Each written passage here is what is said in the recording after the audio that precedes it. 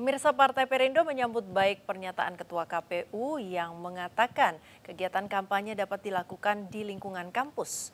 Menurut Sekjen DPP Perindo Ahmad Rofik, demokrasi harus memberikan ruang seluas-luasnya kepada rakyat, termasuk mahasiswa sebagai kaum intelek.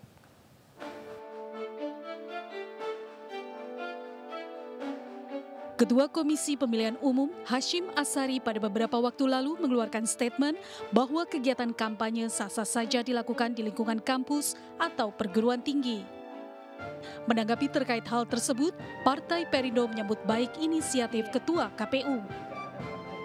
Menurut Sekjen DPP Perindo Ahmad Rafiq, pemilu harus dijaga kualitas partai maupun kontestasinya sehingga dengan melibatkan mahasiswa. Para mahasiswa sebagai kaum intelek dan idealis dapat menilai langsung gagasan ataupun program yang dibuat para calon pemimpin.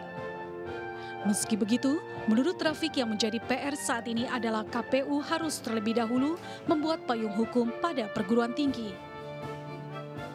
Maka tentu KPU harus uh, memberikan payung hukum atau setidak-tidaknya KPU harus membuat kerjasama dengan seluruh kampus yang ada di Indonesia untuk mengadakan uh, diskusi biar partai partai-partai itu juga diterima secara langsung uh, secara institusional oleh kampus dan sivitas akademika di sana.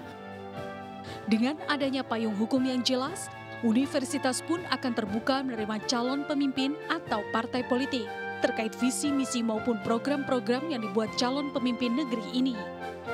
Dari Jakarta, Revikasi Barani, Edi Nugroho, iNews melaporkan. Pemirsa Mabes Polri menonaktifkan Kapolres Jakarta Selatan, Kombes Pol Budi Herdi bersama Karopaminal Div Propam Polri Brigjen Hendra Kurniawan terkait kasus penembakan Brigadir Joshua Huta Barat di rumah dinas Kadif Propam Irjen Verdi Sambo.